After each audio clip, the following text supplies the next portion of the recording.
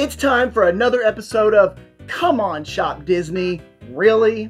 We just finished up May the 4th. We were celebrating Star Wars Day, and of course, I had to get some of the Star Wars merchandise beginning on May 4th. And I have to order it from Shop Disney or the DisneyStore.com, which is what they're calling it now. We've gotten a lot of stuff from Shop Disney, and you know all of my trials and tribulations of how the shipping is always messed up. Lately, though, it's been pretty decent, and I've not been necessarily displeased with how my products have arrived. There's a new type of box that they're using. It's not reusable, so if you like to reuse your boxes, you can't reuse this. These seem to be sealed a lot better.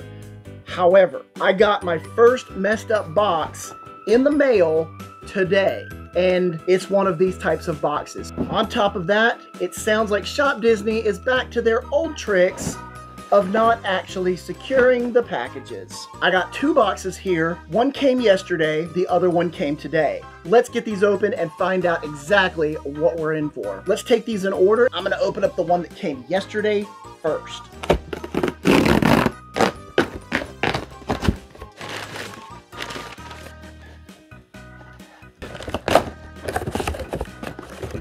Let's open this carefully. And it is the flower and garden pot. This is all that was in this gigantic box. Look at that. That is such a waste of space. You know, they wonder why shipping costs are so high. It's because of this.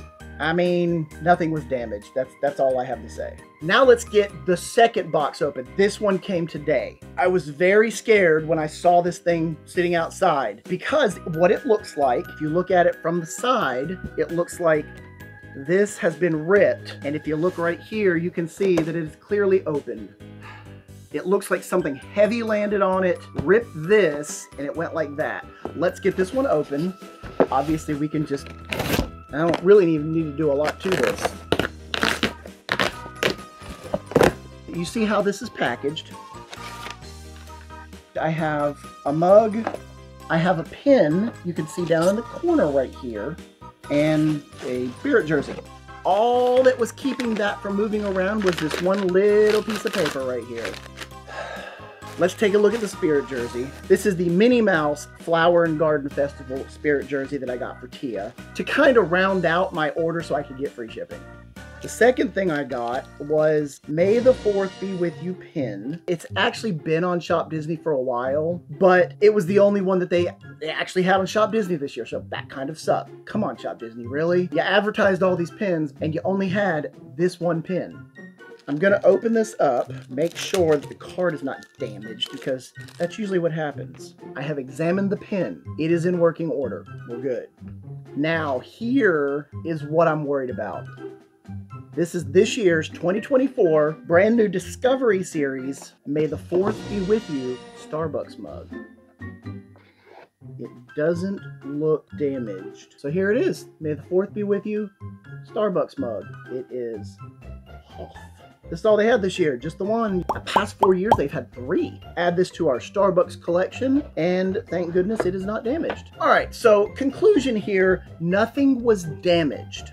However, something could have been damaged, something could have also been lost. All right, so the new boxes, you cannot reuse these. They're opened and it's it's open. And once again, Shop Disney uses boxes that are just way too big. All of this could have fit in a box this size.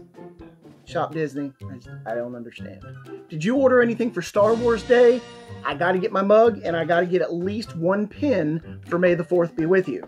Put it in the comments below what you're always looking forward to for May the 4th. We're to keep an eye on Shop Disney and our future purchases and make sure that they don't start falling back into their old habits. But until next time, remember, no capes. No capes!